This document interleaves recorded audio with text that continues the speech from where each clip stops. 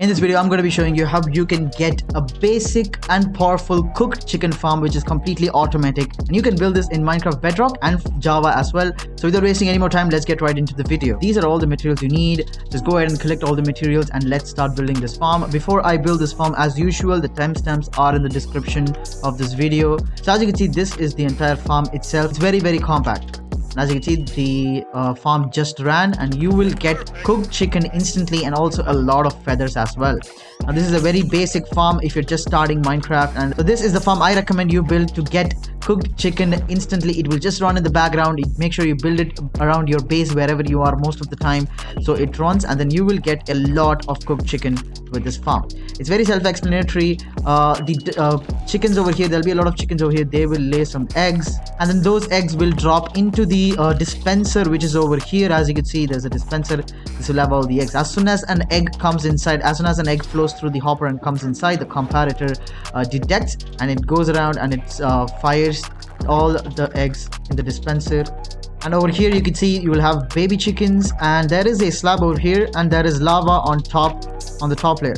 So these baby chickens will not get affected but as soon as they grow they will hit the lava and then they will grow and then cooked chicken will be dropped inside this chest. Now to build this farm all you have to do is go ahead and lay a dispenser just like this and then come back and then you will have to go ahead and have around 3 is to 3 for the redstone to be laid down this is the platform for the redstone. Go ahead and grab your redstone we will need uh, two repeaters one comparator and some redstone dust. What you want to do is you want to start off by placing your comparator over here then go ahead and place your repeater right there and another repeater right over here.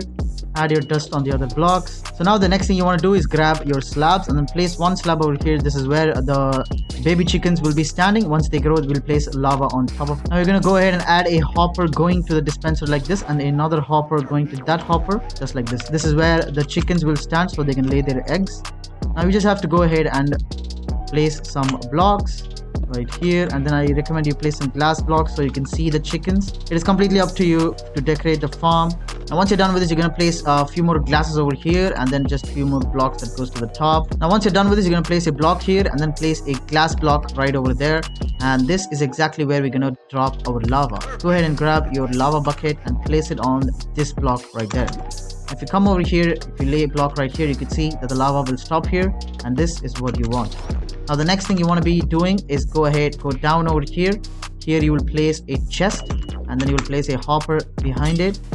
Place your hopper right there. So once you have the collection system ready what you're going to do is you want to go ahead and close the sides up. You could go ahead and add the glass over here and then just go ahead and build it up. And then build up on the sides as well. And then grab your trapdoor and place the trapdoor over here so you can open this up and also give them seeds if you want instant food as well.